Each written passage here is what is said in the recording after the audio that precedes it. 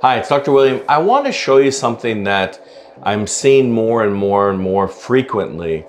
And we're starting to see consequences of it, which are not good. And I wanted to show you here, and she's, she's allowed us to film here. So she's had a BBL. She's two weeks out from a BBL. But look what's going on. She's got an infection here. This is called cellulitis.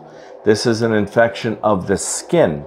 So it's actually, if you look, you can see it's very, very red after I let go of my finger. You see that?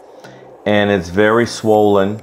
And this is her groin in here. And she's very tender in here because she's got a lot of inflamed lymph nodes. Remember, the lymph nodes are where the battle is being fought between the bacteria and her own white blood cells that are fighting the infection. And so those lymph nodes get swollen and very painful. But the real question is, you know, why does she have cellulitis? Can you have cellulitis after liposuction? Absolutely. Can you get it after BBL? No, no, no question. You can get it after any single operation. It's bacteria on the skin. We all have bacteria on the skin and it can contaminate and get inside the skin and then set up an infection. It doesn't happen very often when we do liposuction or BBL or breast aug. It can happen, but it doesn't happen very often. But I'm seeing it more frequently now. And why is that? Why are we getting more cases of patients with cellulitis with an infection in their skin after having liposuction? And this is the reason. Look at what's going on. So here is the incision from where I did the liposuction. But the trouble is she's going to and getting her massages and they're opening up the incision every time. Well, every time you open this incision, it creates an opening for the bacteria which are living everywhere. Bacteria are everywhere. It's normal. But now what happens is the bacteria here, they see a little opening. They're like, oh, that's good. There's, that's nice and warm in there. There's lots of good blood in there. That's good nutrition.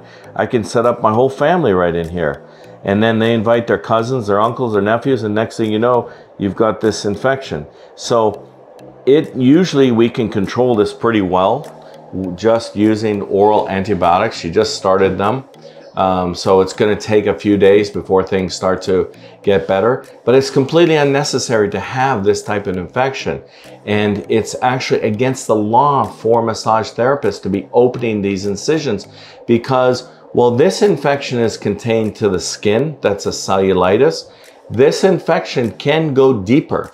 You can get an abscess from this type of infection. It's not as common, but it's certainly possible.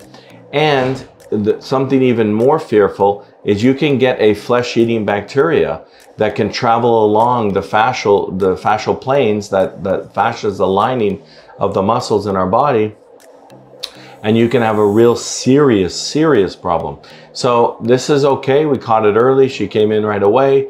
We started her on antibiotics and I'm sure that this is gonna be fine. I'm gonna check on her in a couple days after the antibiotics have had some time to work and it should resolve. But the main point is please, under no circumstance, allow your massage therapist to open up these incisions. It's just straight downright dangerous.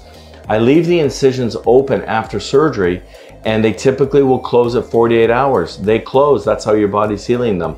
I'm fine if they close at 48 hours because you've had two or sometimes even three good massages and that's got rid of all that fluid. There's no more fluid to come out. The rest of the fluid will come out on its own. You'll pee it out.